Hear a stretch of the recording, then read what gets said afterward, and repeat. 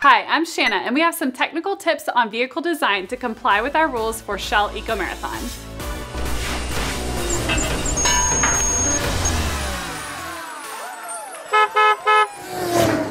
The safety of your driver is a top priority during the competition as accidents may happen. Oh!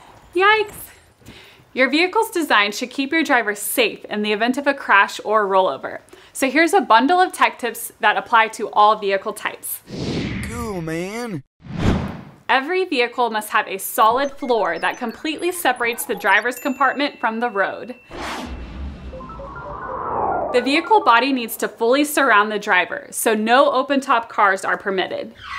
To protect the driver, the vehicle's bodywork should have a solid and sturdy construction, so do not use materials like thin film, cardboard, or fabric. Rejected!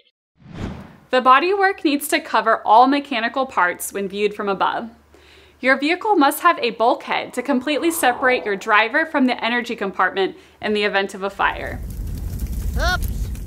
There should be no manual access from the driver's compartment to the energy compartment. No. No. The bulkhead should be made from a fire retardant material like carbon fiber or sheet metal. If you use wood, you will need to add additional material to the energy compartment like aluminum. Make sure the bulkhead reaches all the way to the top and sides of the vehicle, leaving absolutely no gaps between the body cover and the bulkhead. Try to run the wires underneath the bulkhead.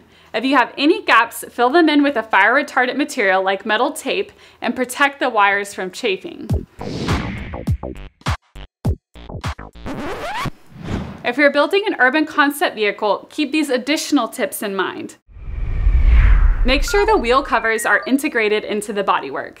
Remember, your driver's door opening needs a minimum dimension of 500 by 800 millimeters and the chassis and bodywork must not infringe on this space, as the driver needs to be able to quickly exit the vehicle. We recommend building a door on both sides of the vehicle. In fact, two doors will be mandatory beginning in 2019. Note that bubble top openings are not allowed. Please submit your technical drawings, photographs, and or animations of your entire vehicle in advance so that we can notify you if your design is non-compliant. For more information, read the Shell Eco Marathon rules carefully. Please start your vehicle design early and reach out if you have any questions. See you on the track.